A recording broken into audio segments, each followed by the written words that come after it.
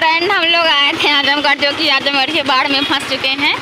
और यहाँ पे काफ़ी बरसात काफ़ी बरसात थोड़ा बैक कैमरे से दिखा रहे हैं।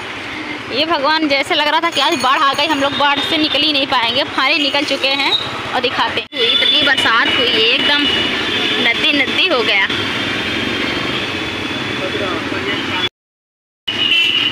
इधर तो एकदम धारा धारा हो गया।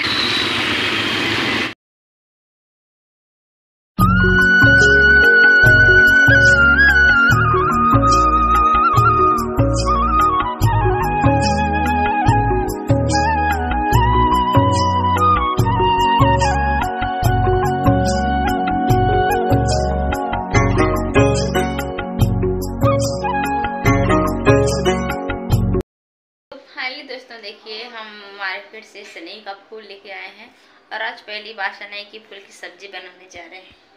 फाइनली चलिए बनाते हैं, देखते हैं कैसे बनती है, क्योंकि अभी पहली बार बना रहे हैं। तो आप लोग बने रहिए हमारे ब्लॉग में और हम आप लोग को दिखाते भी हैं हम कैसे बनाएँगे। तो सनई है यहाँ पे हम इसको पहले साफ़ कर लेते हैं, क्योंकि इसमें काफ़ी डंठल उंठल हैं। फिर आप लोग से बाद में मिलते हैं। फ्रेंड, उतनी सनई की फूल में कितना निकला? कितना फूल निकसा देख रहे हैं। अगर बन जाएगा तो हमको लगता है एक लोग को भी नहीं होगा खाने के लिए। फाइनली उसका खुज्जा दिखा रहे हैं, कितना उसमें से निकला है। कि फ्रेंड इतना सारा खुज्जा निकला जो कि हमको निरते निरते डेढ़ घंटा लग गया है इसको। इतना सारा खुज्जा निकला, देख रहे हैं आप लोग। इसमें कुछ भी नहीं है। और फाइनली देखिए ढाई सौ ग्राम, यानी एक पाव लिए थे, उसमें से कितना फूल निकसा, निकला देखिए, एक फूल निकला हुआ है। चलिए आज इतना ही बनाते हैं, क्योंकि क्या करेंगे? इतना ही मिला उसमें से, इतना ही सारा।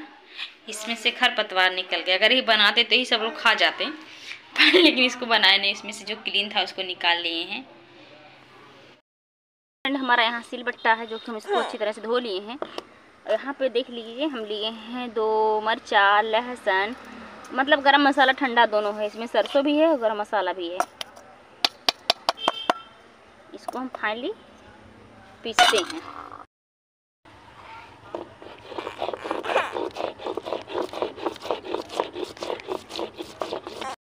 देखिए फ्रेंड्स नई की फूल की रेसिपी हम बनाना शुरू कर दिए हैं। फाइनली इसमें हम सब कुछ रेडी कर दिए हैं।